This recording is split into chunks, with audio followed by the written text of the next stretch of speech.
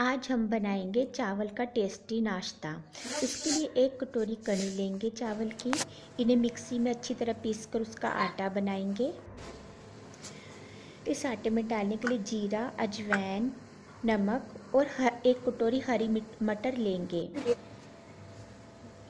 फिर मिक्सी के अंदर हम दो तीन मिर्चें हरी मिर्च की, हरी मिर्च, हरी मटर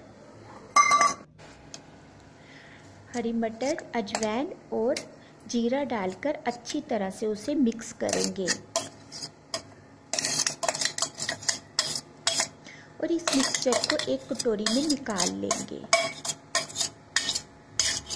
इस मिक्सचर के अंदर हम चावल के आटे के, इस मिक्सचर को चावल के आटे में डालकर हम थोड़ा सा दूध भी इसके अंदर डालेंगे और एक चम्मच घी डालकर इसे अच्छी तरह से हल्का हल्का नरम नरम गूंद लेंगे।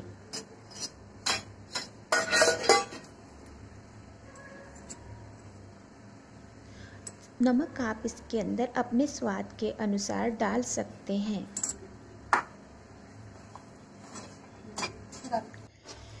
इस गूंदे हुए आटे की छोटी छोटी लोइयाँ बनाकर, छोटी छोटी टिक्कियाँ हम बनाकर तेल के अंदर तलेंगे।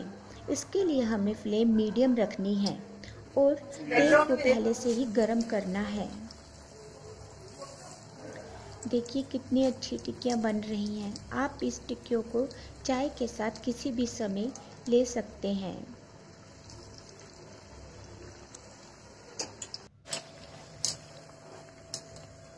इन्हें हल्का सुनहरी होने तक फ्राई कर लेना है।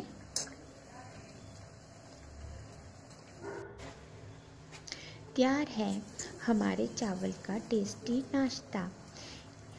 थैंक यू प्लीज़ इसे लाइक करें और